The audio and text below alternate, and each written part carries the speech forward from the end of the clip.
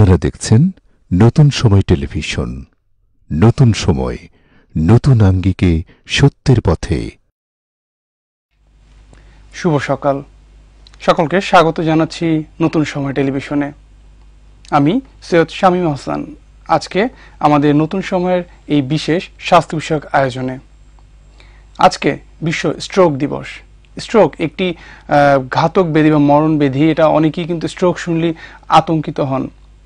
আজকে স্ট্রোক দিবস এবং এই স্ট্রোক দিবসের স্ট্রোক নিয়ে বিভিন্ন তথ্য জানার জন্য আমরা এসেছি এবং আমাদের সাথে রয়েছেন বাংলাদেশের একজন খ্যাতনাম স্ট্রোক বিশেষজ্ঞ স্ট্রোক এবং ইন্টারন্যাশনাল নিউরোলজিস্ট সহযোগী অধ্যাপক ডক্টর সিরাজি শফিকুল ইসলাম। আজকে আমরা তার কাছ থেকে স্ট্রোক সম্বন্ধে নানান গুরুত্বপূর্ণ তথ্য জানব। আর যদি এই আলোচনার ভিতরে আপনারাও জয়েন করতে চান, তাহলে আমাদের ফেসবুক লাইভের কমেন্ট বক্সে অথবা পোস্টের নিচে আপনারা কমেন্ট করে আপনাদের প্রশ্ন অথবা জিজ্ঞাসা জানাতে পারেন। জি স্যার আপনাকে স্বাগত জানাচ্ছি নতুন সময়। স্যার প্রতি বছর স্ট্রোক যে দিবসটি পালিত হয় স্ট্রোক দিবসের নির্দিষ্ট একটি মটো বা নির্দিষ্ট একটি স্লোগান থাকে। এই বছরের স্লোগানটি কি? এবছরের স্ট্রোকের স্লোগানটি হলো যে বাংলায় যদি বলি সেটা স্ট্রোক আমাদের থামাতে পারেনি। ইংরেজিতে বলছে যে stroke take us down but we get up again মূল কারও ব্যাপারটা হলো যে, আগে মনে করতো স্ট্রোক হলে আর কোনো চিকিৎসা নাই, এবং স্ট্রোকের রোগীকে সামাজিকভাবে অনেকটা গুরুত্ব দেওয়া হতো না, বা তাকে তেমন একটা গুরুত্বের সাথে যত্ন নেওয়া হতো না। কিন্তু এখন আমরা বলছি যে স্ট্রোক হওয়ার সঙ্গে সঙ্গে যদি সাড়ে চার ঘণ্টা থেকে ছয় ঘণ্টার মধ্যে যে চিকিৎসাগুলো আছে সেটা নেওয়া যায় এবং রুগীর যদি ওই সমস্ত চিকিৎসা নেওয়ার যোগ্য সবগুলো শারীরিক ই থাকে, সুযোগ থাকে, তাহলে স্ট্রোক ভালো হয়। এবং পক্ষাঘাত থেকে বা জীবন নাশের যে হুমকিটা থাকে, সেখান থেকে রুগী নিস্তার পেতে পারে, বাঁচতে পারে। স্যার, যে স্ট্রোক হলো, অনেক ক্ষেত্রে বলা যায় যে মানে স্ট্রোক হচ্ছে কি না বা স্ট্রোকের কি ধরনের সিমটম দেখে বোঝা যায় যে স্ট্রোক হলো?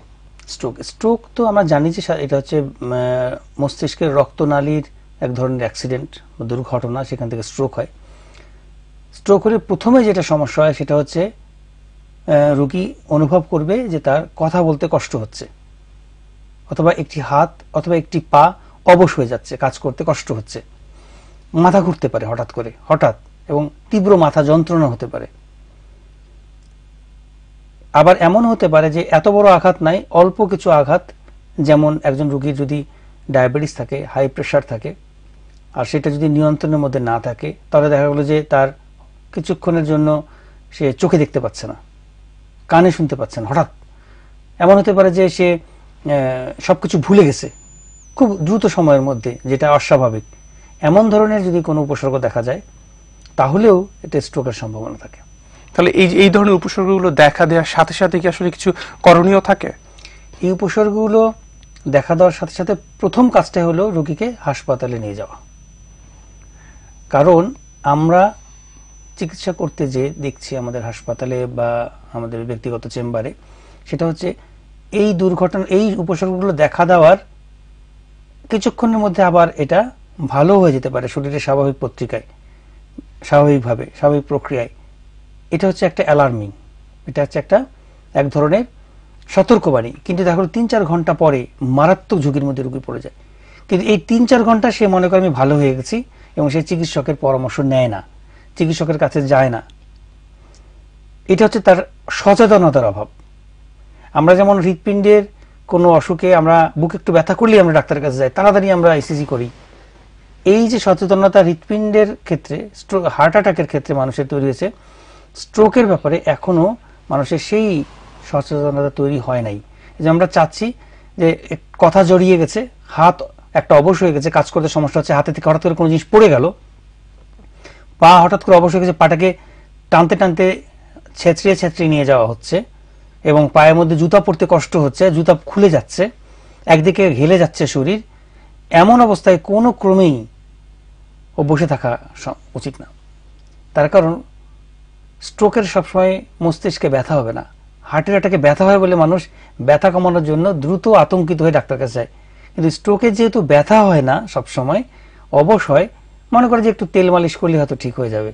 হয়তো কিছুক্ষণ পর ভালো হয়ে যাবে। কিন্তু এটা যে কত মারাত্মক ঝুঁকি হতে পারে, পুরো জীবনটা পঙ্গু হয়ে যেতে পারে, এই ভাবনাটা যদি তৈরি হয়, তখনই স্ট্রোক সম্পর্কে মানুষের সচেতনতা জ্ঞানটা বাড়বে। স্যার আরেকটা জিনিস যেটা দেখা যায় যে স্ট্রোকের মানে হলো, স্ট্রোকের পরপরই যে বেশিরভাগ পেশেন্ট কিন্তু চলে যাচ্ছেন যে তারা না বোঝার কারণে মানে তারা স্ট্রোক এবং আপনার হৃদরোগে আক্রান্ত হলেন কিনা হার্ট অ্যাটাক হলেন কিনা স্ট্রোক এবং হার্ট অ্যাটাক এই জিনিসটাকে তারা কিন্তু ক্লাসিফাই করতে পারে না। তারা চলে যান বেশিরভাগ ক্ষেত্রেই কোনো হৃদরোগ ইনস্টিটিউট অথবা হৃদরোগ রিলেটেড কোনো হসপিটালে এবং ওখান থেকে তারা ফিরে আসেন। এটা কিন্তু একটা বড় স্যার সময় নষ্ট হয়ে যায়।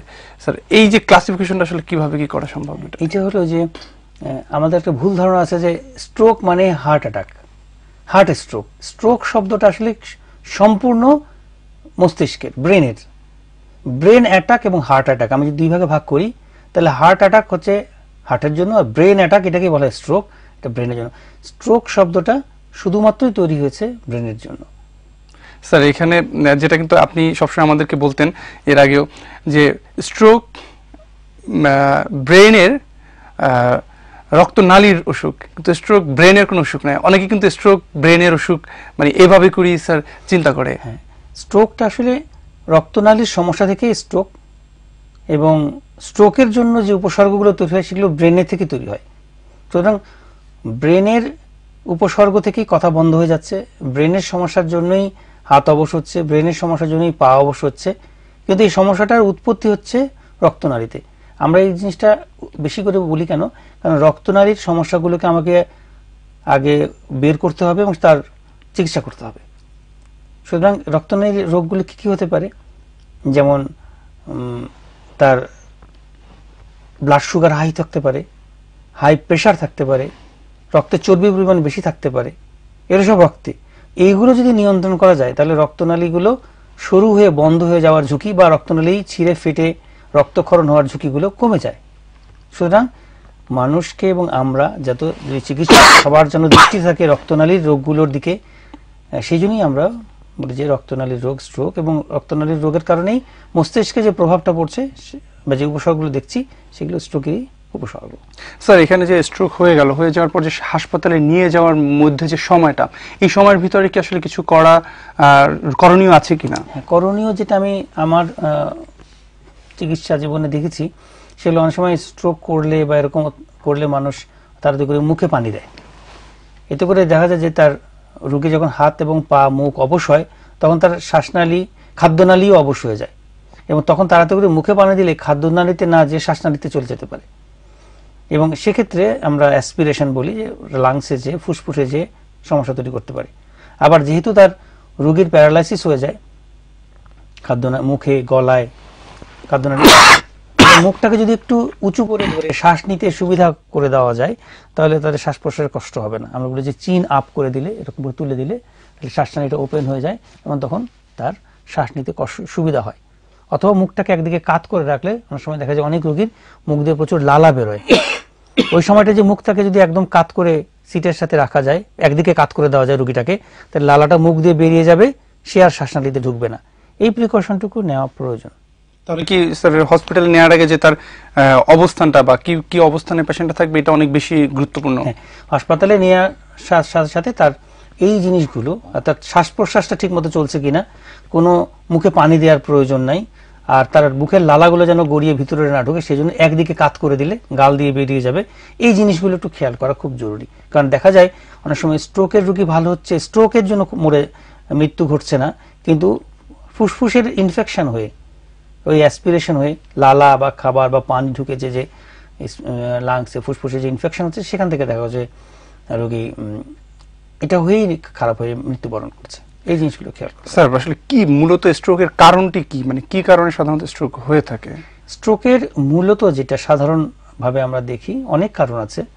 তার মধ্যে একটা হচ্ছে উচ্চ রক্তচাপ অনিয়ন্ত্রিত ডায়াবেটিস এবং উচ্চ কোলেস্টেরল যদি রক্তে চর্বির পরিমাণের তাপমাত্রাটা যদি অস্বাভাবিক থাকে, এই তিনটা কারণে কি হয়? রক্তনালীগুলো সরু হয়ে যায়। রক্তের নালীর ভিতরে চর জমে আমরা বলি যেটা অ্যাথেরোস্ক্লেরোটিক প্লাক হয়। এবং এটা আস্তে শুরু হয়ে যায় শুরু হতে হতে একসময় রক্ত ঠিকমতো পৌঁছায় না, বন্ধ হয়ে যায়। বন্ধ হয়ে যাওয়ার সাথে সাথে যখনই মস্তিষ্কে রক্ত পৌঁছায় না, তখন মস্তিষ্কের ওই ওই জায়গাটায় কোষগুলো মৃত্যুবরণ করে এবং মৃত্যু হওয়ার কারণে স্ট্রোকটা হয়। এটা যে একদিকে এটাকে আমরা বলি ইস্কেমিক স্ট্রোক আরেকটা হচ্ছে হেমোরোজিক স্ট্রোক যেটা হচ্ছে রক্ত ক্ষরণ হয়ে, উচ্চ রক্তচাপ ডায়াবেটিস এর কারণে রক্তনালী শুধু শুরু হয়ে যেও, অনেক সময় দেখা যায় রক্তনালী ছিঁড়ে যায়। অথবা আরেকটা আছে যে জন্মগত ত্রুটি অথবা পরেও হতে পারে অ্যানুরিজম রক্তনালীর ওয়াল, দেয়ালের যদি কোনো গাঠনিক দুর্বলতা থাকে, তাহলে সেখানে একটা বেলুনের মতো ফুলে ওঠে এবং সেই বেলুনটা ফেটে যে রক্তক্ষরণ হয়ে স্ট্রোক হতে পারে। আরেকটি হলো রক্তনালীর মধ্যে জন্মগতভাবে কতগুলো রক্তনালীর সংযোগ তৈরি হয়। অর্থাৎ অস্বাভাবিক কানেকশন এগুলো যদি তৈরি হয়, তখনও ওগুলো ছিঁড়ে যে রক্ত স্ট্রোক হতে পারে। আরও একটা স্ট্রোক আমরা ইদানিং আগেও ছিল, তবে আমরা অত্যাধুনিক ইনভেস্টিগেশনের সমস্ত যন্ত্রপাতি আসাতে, পরীক্ষা নিরীক্ষা করাতে আমরা বাংলাদেশে এখন সেগুলো নির্ণয় করতে পারছি, সেটা হচ্ছে ভেনাস স্ট্রোক অর্থাৎ যে সমস্ত মহিলারা জন্ম নিয়ন্ত্রণ বড়ি খান তারপরে যদি কোনো যাতে মহিলার যাদের বাচ্চা হয়েছে, বাচ্চা হওয়ার পর পরই বা কোনো বড় সার্জারি হয়েছে, পুরুষ বা মহিলা বা যারা পুরুষে অ্যালকোহল খান, তাদের রক্ত ঘন হয়ে যায়। এই ঘন হয়ে যাওয়ার কারণে রক্তের থিকনেস বেড়ে যায়, ঘন হয়ে গেলে ভেনের মধ্যে মস্তিষ্কের ভেনের মধ্যে রক্তগুলো জমে যায়। জমে যে ভেনাস সাইনাস যে রক্তনালীগুলো আছে, সেগুলোকে বন্ধ করে স্ট্রোক হয়, এটাকে আমরা বলি central cerebral venous sinus thrombosis হয় স্ট্রোক ভেনাস স্ট্রোক স্যার এখানে যে রক্তটা ঘন হয়ে যায় বলতে কি মানে হিমোগ্লোবিনের পরিমাণ বেড়ে যায় বা না কি কারণে রক্তের জমাট বাঁধার ক্ষমতাটা বেড়ে যায়। রক্তের একটা স্বাভাবিক জমাট বাঁধা ক্লটিং ফ্যাক্টরগুলো factor গুলো হ্যাঁ, বেড়ে যাচ্ছে। এবং যার কারণে রক্ত দ্রুত জমাট বাঁধছে বা রক্তের ঘনত্ব বেড়ে যাচ্ছে। অর্থাৎ রক্তকে সবসময় পাতলা করার জন্য যেন ক্লট হতে না পারে সেজন্য শরীরের মধ্যে সবসময় একটা প্রক্রিয়া চলছে রক্তে। যখন এই প্রক্রিয়ার মধ্যে, এই উপাদানগুলোর মধ্যে কোনো তারতম্য তৈরি হয়, যেমন যদি কেউ পানি কম খায়, তাহলে ডিহাইড্রেশনে পানির পরিমাণ কমে গেল রক্তে, তাহলে সেক্ষেত্রে দেখা যাবে রক্ত ঘন হচ্ছে। অথবা যাদের নতুন সার্জারি করা হয়েছে, কোনো হয় বাচ্চা হওয়ার জন্য ডেলিভারি সার্জারি বা অন্য কোনো সার্জারি তখন রক্তের একটা ই থাকে, একটা টেন্ডেন্সি থাকে, রক্তের একটা চেষ্টা থাকে যে রক্তটাকে ঘন করার। তখন হতে পারে। যারা জন্ম নিয়ন্ত্রণ ট্যাবলেট খান অনেক দিন ধরে, তাদের একটা থাকে টেন্ডেন্সি কারণ ট্যাবলেটটা একটা হরমোন ট্যাবলেট এবং এটা রক্তকে, রক্তের ঘনত্ব বাড়িয়ে দেয়। তো এই সমস্ত কারণগুলোতে দেখা যায় রক্ত ঘন হয়ে গেলে বা অনেক উপাদান আছে প্রোটিন সি প্রোটিন এস তা এইগুলো যদি ঘাটতি থাকে, তখন হয় কি রক্তে ঘনত্ব বেড়ে যায় তখন বিভিন্ন জায়গায় জমে যায়। এর জন্য হাইপারটেনশন বা ডায়াবেটিস বা কোলেস্টেরল বেশি আছে, এর কোনো প্রয়োজন নাই। মানে এটা এটা আহ, নতুন একটি ধারণা পাওয়া গেল। এর আগে কিন্তু এটা সম্বন্ধে খুব একটা জানা যায়নি। সাধারণত সবাই জানতো যে এর আগের বছর স্ট্রোক দিবসের যে স্যার মটোটি ছিল এবং ওখানে দশটি ফ্যাক্টরের কথা উল্লেখ ছিল যেগুলোর কারণে সাধারণত স্ট্রোক হয় এবং স্ট্রোক থেকে বাঁচার জন্য এই দশটি অভ্যাসকে চেঞ্জ করার জন্য বলা হয়েছিল। তো এই বছর কিন্তু স্যার আপনার কাছ থেকে একটা নতুন জিনিস জানলাম যে এভাবে স্ট্রোক হতে পারে। আমরা অনেক অহরহ পাচ্ছি। স্যার, আসলে কোন বয়সে সাধারণত আপনারা বেশি স্ট্রোকের পেশেন্ট পেয়ে থাকেন? সাধারণত উচ্চ রক্তচাপ, তারপরে অনিয়ন্ত্রিত ডায়াবেটিস উচ্চ চর্বির মাত্রা, এগুলো তো সাধারণত দেখা যায় যে চল্লিশের পরে সাধারণত যাদের থাকে, সাধারণত চল্লিশ, পঞ্চাশ, পঁয়তাল্লিশ। কিন্তু এখন আমরা অল্প বয়সীয় স্ট্রোক পাই। অল্প বয়সী স্ট্রোকের মধ্যে যেমন আঠারো, পাঁচ, সাত বছরের বাচ্চারও স্ট্রোক হচ্ছে। এটা হচ্ছে সম্পূর্ণ মস্তিষ্কের কিছু রক্তনালী গাঠনিকভাবেই, অস্বাভাবিকভাবে আস্তে আস্তে চিকন হয়ে যাচ্ছে, ছোট হয়ে যাচ্ছে। রক্তনালীর ভিতরের যে কোষগুলো, সেগুলো বৃদ্ধি হয়ে রক্তনালীগুলো ছোট করে দিচ্ছে। এটা জন্মগত রোগ, এটাকে আমরা বলি ময়াময়া ডিজিজ ধারণা করতে তো এটা কোরিয়া বা জাপানে বেশি হয়। কিন্তু এখন আমরা নিউরোসায়েন্স হাসপাতালে আমরা পেশেন্ট পাচ্ছি, বাচ্চারা, এবং তাদের আমরা এনজিওগ্রাম করছি ব্রেনের এবং এনজিওগ্রাম করে দেখছি যে এই ময়াময়া ডিজিজ বাংলাদেশেও কম না। পাশাপাশি যে সমস্ত বাচ্চাদের হার্টের রোগ থাকে ভালভুলার হার্ট ডিজিজ তাদেরও রক- হৃৎপিণ্ডের ভিতরে রক্ত জমাট বেঁধে গেলে সেই রক্ত জমাট রক্ত মস্তিষ্কে যে স্ট্রোক করছে, এটাও কিন্তু অল্প বয়সী বাচ্চাদের পাচ্ছি, আঠারো, বিশ, পঁচিশ। আবার তিরিশ থেকে চল্লিশ বছরের মহিলাদের পাচ্ছি, যারা জাস্ট দুই, তিন দিন আগে বাচ্চা হয়েছে সিজারিয়ান সেকশনের মাধ্যমে, সে স্ট্রোক নিয়ে আসছে। এই পেশেন্টগুলোর দিকে আমরা খেয়াল করে দেখেছি, তাদের দেখা যায় যে ভেনাস সাইনাস থ্রোম্বোসিস হচ্ছে অর্থাৎ মস্তিষ্কের যে ভেইনগুলো আছে সাইনাস সেখানে রক্ত জমে যাচ্ছে। কারণ কি? কারণ যে সার্জারি করার পরে রক্তের জমাট বাঁধার ক্ষমতা একটু বৃদ্ধি পায়। তখন বেশি বেশি করে পানি খেতে হয়। এবং পানিও খায় না, বাচ্চাকে দুধ খাওয়ায়, রুগীও খুব একটা বেশি খায় না তখন এই ঘটনাটা ঘটছে। তার মানে এই ধরনের রুগীকে ঘন ঘন পানি খেতে হবে প্রচুর পরিমাণে। দেখবেন গ্রামে আগে ছিল যে বাচ্চা হওয়ার পরে মাদেরকে চাল কুমড়া তারপরে লাউ এগুলো বেশি খাওয়া কিছু কিছু খাবারকে বলা হতো যেগুলো বেশি খেতে কিছু কিছু খাবারকে বলা হতো খাওয়ানো যাবে পানি আছে। ধারণা করতে যে এটা বাচ্চার দুধ বাড়াবে অর্থাৎ পানি বৃদ্ধি করতে হবে শরীরে। কারণ দুধের মাধ্যমেও পানি বের হয়ে যাচ্ছে। যদি পানি কমও খায় তাহলে সেক্ষেত্রে তার শরীরে এর রক্ত জমাট বাঁধার ই বাড়তে পারে সম্ভাবনা বাড়তে পারে।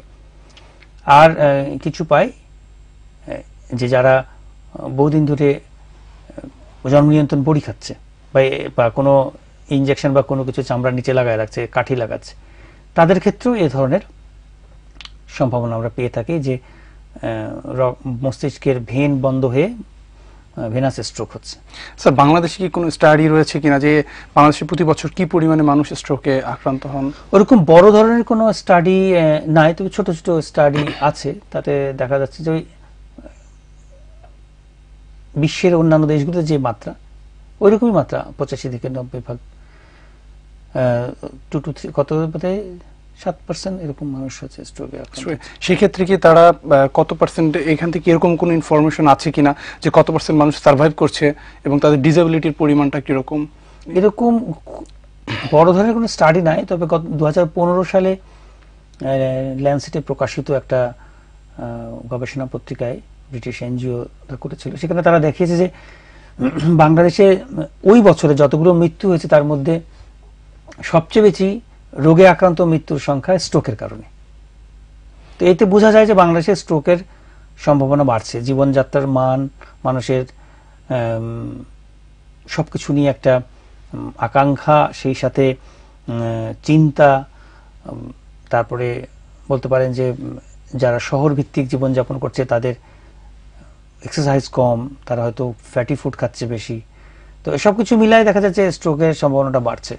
স্যার স্ট্রোক থেকে তাহলে পরিত্রাণ পেতে হলে যেখানে যেটা বললেন যে জীবনযাত্রার মান এটি যতটুকু জীবনযাত্রার মান স্ট্রোক হওয়ার জন্য অনেক বড় একটা প্রভাবক হিসাবে কাজ করে এবং যেটা কিছুটা চেঞ্জ করলেই স্ট্রোক থেকে দূরে থাকা যেতে পারে। তো এটা কি ধরনের চেঞ্জগুলো সবচেয়ে বড় কথা যে এক্সারসাইজ করতে হবে হাঁটতে হবে মানুষকে পরিশ্রম করতে হবে। আমরা পরিশ্রম অনেক কমে গেছে আমাদের।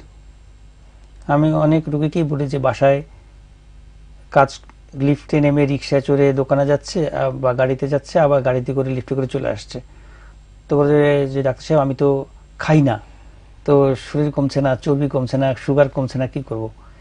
না খেয়ে কিছু হবে না। খরচ করতে হবে। মানে আমি যদি ব্যাংকে টাকা রেখে বলি যে খরচ করছি না ইনকামও করছি না, তাহলে হবে না। খরচ না করলে কখনোই শেষ হবে না। সুতরাং শরীরটাকে পুরোপুরি ব্যায়াম এক্সারসাইজ হাঁটা এর মাধ্যমে শরীরটাকে কমাতে হবে এবং গ্লুকোজ সুগার রক্তের সুগার রক্তের চর্বি এগুলোকে ব্যবহার করতে হবে বার্ন করতে হবে। তখনই শরীরটা ঠিক থাকবে ওষুধ লাগবে না এক্সারসাইজ করেই মানুষ ভালো থাকতে পারবে। সেক্ষেত্রে আসলে এক্সারসাইজ একটা বড় ভূমিকা। বড় ভূমিকা আছে, বড় রাখছে আসলে। স্যার যেটা হয় যে স্ট্রোকের পরের যে ডিসেবিলিটি যেটা গ্রো করে, এই ক্ষেত্রে আসলে যে কতদিন সাধারণত চিকিৎসা প্রয়োজন হয়ে থাকে, অনেক ক্ষেত্রে বলা হয় যে আসলে কখনই ঠিক হচ্ছে না। মানে এই ধরনের ডিসেবিলিটি থেকে মুক্ত পেতে হলে আসলে কি- বা কি করণীয়?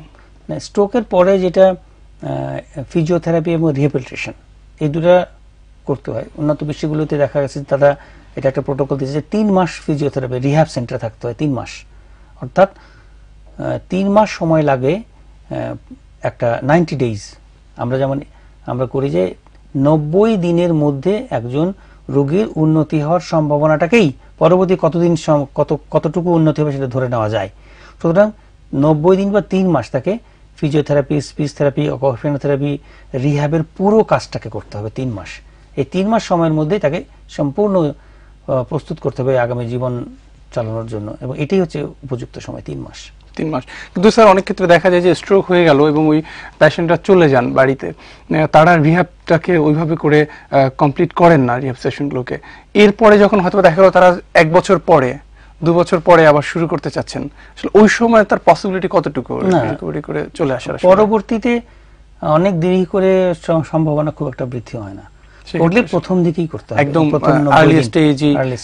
এটা আসলে রিহাবটা কতদিন পরেই শুরু করতে হয় আমার সঙ্গে সঙ্গে শুরু করা যায় সঙ্গে সঙ্গে শুরু করা যায়। সঙ্গে অন্য কোনো সমস্যা নেই শুধু স্ট্রোক অন্য কোনো সমস্যা যদি না থাকে তাহলে রিহ্যাব সাথে সাথে শুরু করা উচিত ফিজিওথেরাপি স্যার আজকে তো বিশ্ব স্ট্রোক দিবস তো স্ট্রোক দিবসকে কেন্দ্র করে আপনাদের কি ধরনের কার্যক্রম রয়েছে আজকে দিনকে ঘিরে স্ট্রোক দিবস নিয়ে কার্যক্রম যেটা বাংলাদেশ সোসাইটি অফ নিউরোলজিস্ট আছে তারা সারা বাংলাদেশের যতগুলো হাসপাতাল, সেখানে যতগুলো, সব জায়গায় নিউরোলজি ডিপার্টমেন্ট আছে। সবাইকে বলা হচ্ছে আজকে র্যালি করে মানুষকে জানানো, বা কোনো সেমিনার করে আলোচনা সভা করে মানুষকে জানানো, এবং নিজেদের মধ্যে আলোচনা করা, যে আমরা কীভাবে আরও উন্নতি করতে পারি। এরকম করে সকল হাসপাতাল থেকে চিকিৎসকদের মাধ্যমে, এবং যারা এর সাথে আরও অনেক আছে, সবাই মিলে র্যালি করা, আলোচনা সভা করা হ্যান্ডবিল বিলি করা এগুলি আহ, ব্যবস্থা আছে। স্যার একদম শেষ পর্যায়ে আমরা একটা কোশ্চেন যেটা জানতে যে কিছুদিন আগে দেখা যাচ্ছিল যে ফেসবুকে বা বিভিন্ন সময় বিভিন্ন সোশ্যাল মিডিয়াতে ফেসবুক হোক টুইটার হোক অন্য জায়গাতে দেখা যায় যে স্ট্রোক হলে ইনস্ট্যান্ট সুই ফুটানোর মাধ্যমে চিকিৎসা হয়। এইটা আসলে কতটুকু বিজ্ঞানসম্মত আসলে আপনার মনে হয়? আমি আমিও দেখেছি এরকম। আসলে এটা এক ধরনের মানে আমি বলব যে মানুষকে বোকা বানানোর একটা ধরনের প্রচার। স্ট্রোক হলে যদি চার থেকে সাড়ে চার চার চার থেকে সাড়ে চার ঘণ্টার মধ্যে কোনো রুগী হাসপাতালে উপস্থিত হয় এবং তাকে যদি অ্যালটিপ্লেস বা আরটিপিএ রিকমেন্ডেন্ট টিস্যু প্লাজমিনেশন অ্যাক্টিভেটর একটা ওষুধ ইনজেকশন এটা বাংলাদেশে এখন অ্যাভেলেবেল বাংলাদেশে পাওয়া যাচ্ছে। যদি তার শিরায় প্রবেশ করানো হয়, তাহলে যে রক্তনালীটি বন্ধ হয়ে গেছে সেটা খুলে যাওয়ার চল্লিশ থেকে পঞ্চাশ ভাগ সম্ভাবনা থাকে। এবং যদি তাতেও না খুলে, তাহলে ছয় ঘণ্টার মধ্যে এনজিওগ্রাম করে মাথার ভিতর থেকে ওই ক্লট, রক্ত জমাটটাকে বের করে আনার পদ্ধতিও বাংলাদেশে চালু হয়েছে। এটা যদি করা সম্ভব হয়, তাহলে চল্লিশ থেকে সত্তর ভাগ রোগী ভালো হয়ে যায়। সেক্ষেত্রে আঙ্গুল ফুটিয়ে রক্ত বের করার কোনো মানে হয় না। রোগের নির্দিষ্ট বিজ্ঞানসম্মত চিকিৎসা সারা বিশ্বে আছে। আমাদের বাংলাদেশেও শুরু হয়েছে, নিউরোসায়েন্স হাসপাতালে আমরা দিচ্ছি। এছাড়াও অনেক অন্যান্য বেসরকারি হাসপাতালেও দিচ্ছে। সেটা হলো আইভি থ্রম্বোলাইসিস। ইনজেকশন আর যদি তাতে না হয়, তখন মেকানিক্যাল থ্রম্বেক্টমি অর্থাৎ ভিতরে ঢুকে এনজিওগ্রাম করে ক্লটটাকে বের করে আনা। এটা হলো ইস্কেমিক স্ট্রোকের ক্ষেত্রে। আর যদি হেমোরেজিক স্ট্রোক অর্থাৎ রক্তনালী ছিঁড়ে যায়, তাহলে অ্যানোরিজম কয়েলিং বা এভিএম এম্বোলাইজেশন বা সার্জারি করে রোগের চিকিৎসা আমরা করছি। সুতরাং নির্দিষ্ট চিকিৎসা আছে, এই সমস্ত চিকিৎসায় আপনারা ভুল করবেন না। স্যার, ধন্যবাদ স্যার। দর্শক, আমরা কিন্তু আজকে এই বিশেষ দিনে এটি স্ট্রোক দিবস এবং স্ট্রোক যদি বলি যে এই মুহূর্তে সারা পৃথিবীতে মানুষের মৃত্যুর হারের যে প্রধান কারণ এটি স্ট্রোক বলা হয়। তবে স্ট্রোক থেকে মুক্ত থাকতে হলে অবশ্যই আমাদের আগে সবার আগে হতে হবে সচেতন। সচেতনতাই আমাদেরকে পারে এই স্ট্রোক থেকে দূরে রাখতে এবং এই সচেতনতার পাশাপাশি আরও যেটা দরকার, সেটি হলো ফিজিক্যাল অ্যাক্টিভিটিস বা এক্সারসাইজ ব্যায়াম, এই ব্যায়ামের ভিতরেই কিন্তু আমরা ভালো থাকতে পারি, সুস্থ থাকতে পারি। দর্শক স্ট্রোক কিন্তু অবশ্যই একটি প্রতিরোধযোগ্য অসুখ। কিন্তু যদি স্ট্রোকে আক্রান্ত হয়ে যান, সেক্ষেত্রে কিন্তু একটি চিকিৎসা অনেক ব্যয়বহুল এবং কষ্টসাধ্য ও সময় সাপেক্ষ। তাই স্ট্রোকে আক্রান্ত হওয়ার আগেই আমরা সচেতন হই, ভালো থাকি, সুস্থ থাকি। দর্শক, সকলে ভালো থাকবেন, সুস্থ থাকবেন এবং নতুন সময়ের সাথী থাকবেন। ধন্যবাদ।